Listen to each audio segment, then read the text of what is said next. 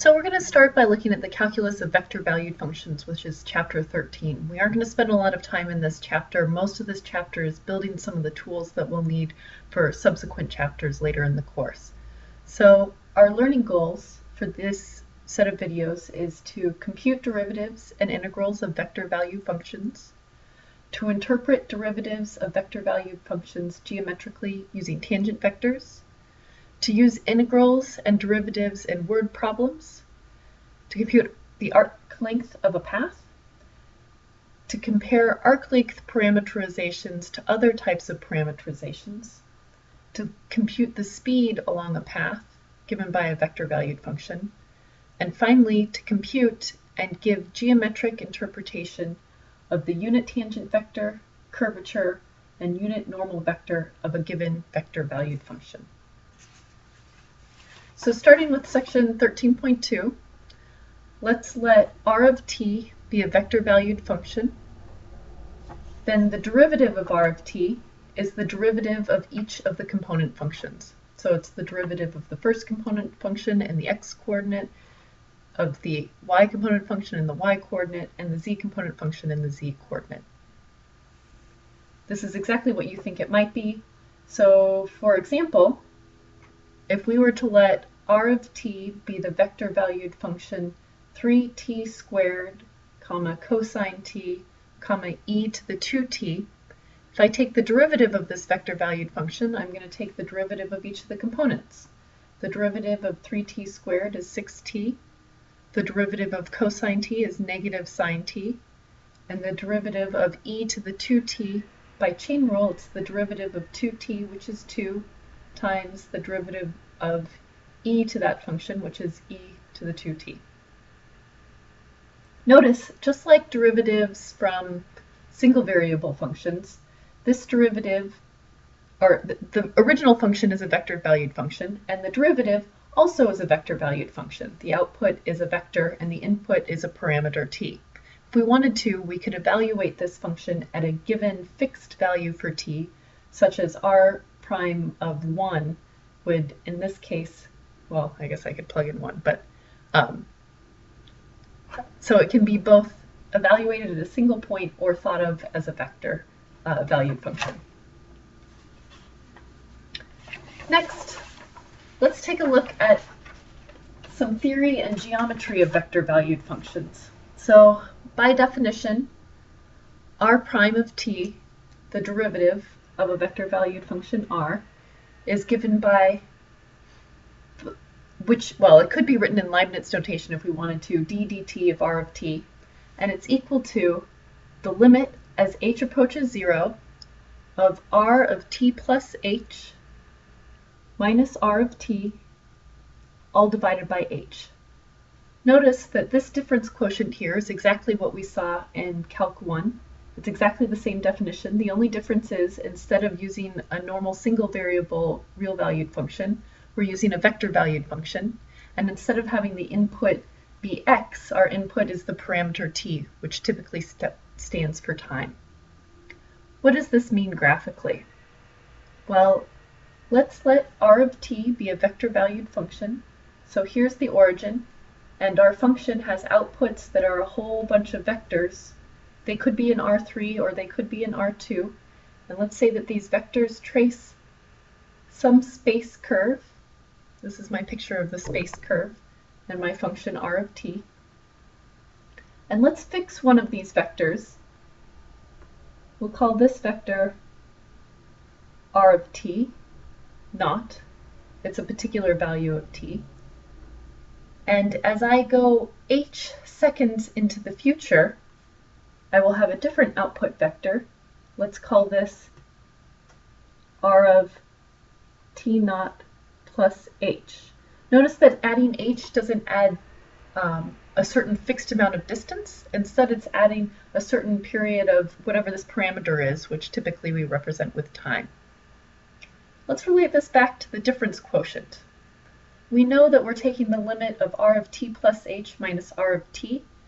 This is a difference of two vectors, and the difference of these vectors can be represented visually by this vector,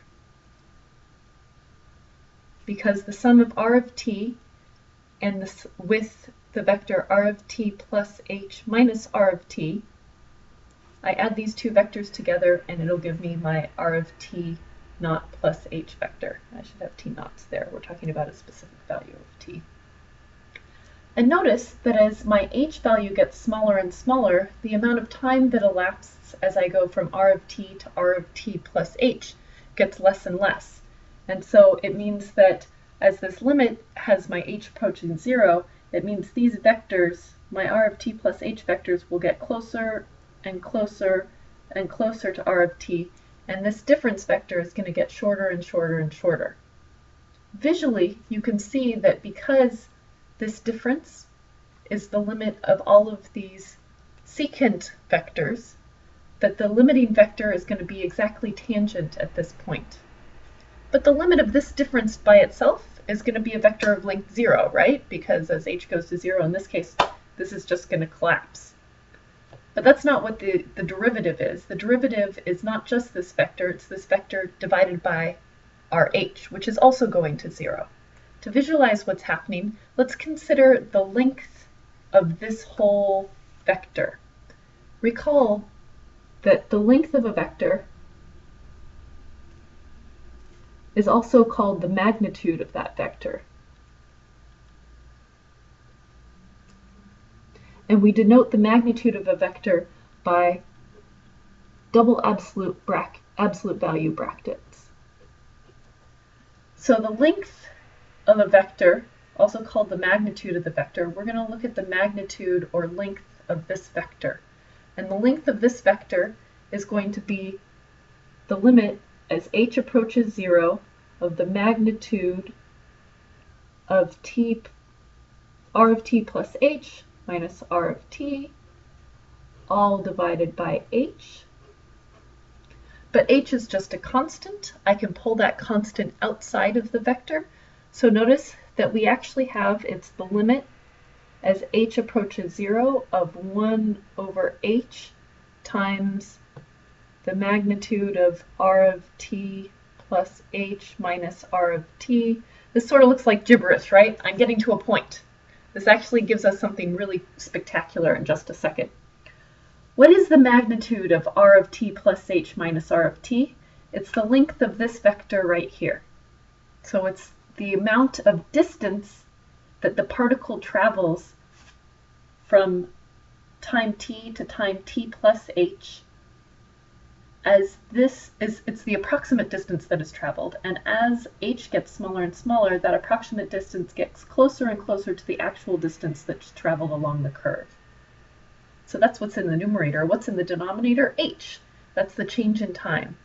So notice I just said that this limit is exactly equal to the change in distance over the change in time. Because my change in time, how much is time elapsing? It's elapsing h seconds, or units of time. And how far is it traveling? That can be approximated by the magnitude of this vector. So what is this? Change in distance over change in time? That's exactly speed. So what did I just say? This means that r prime of t has direction that's exactly tangent to my space curve. Tangent to the space curve. and the length, the magnitude r prime of t,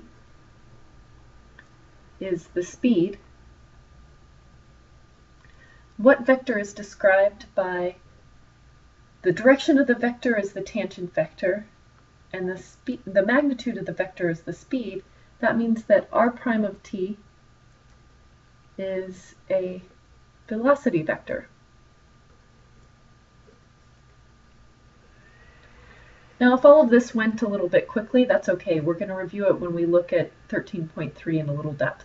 I just thought that it was nice to see from first principles how the fact that the derivative vector is exactly tangent to the space curve, and it has length that's the speed at that point, meaning that our derivative vector is a velocity vector. Next, let's look at integration. Integration works like we want it to work, much like derivatives. The integral of a vector valued function is going to be the integral of each of the component functions. And like we were just saying, if r of t is a position vector, then the derivative of that is the velocity vector, and the second derivative is going to be the acceleration vector. I'm not going to go through the derivation for this relationship. But it means that if we want to work backwards, let's say we're given an acceleration vector, I would have to take the antiderivative to be able to derive the velocity vector, and I could take the antiderivative of that to get back to the position vector. Let's look at one final example. Suppose we have a plane and it has a velocity given by the vector valued function v of t equals 2t 3t squared and at time t equals 1, the plane has position p of 1 equals 5, 3, 2 thirds. We're asked to find the position and acceleration functions for the plane. So recall, let's put this paper down, that in this problem, we're given the velocity vector. I want to focus this again. We're given the velocity vector, and we're asked to find the position vector, and we're also asked to find the acceleration vector. So to move from the velocity vector to the accel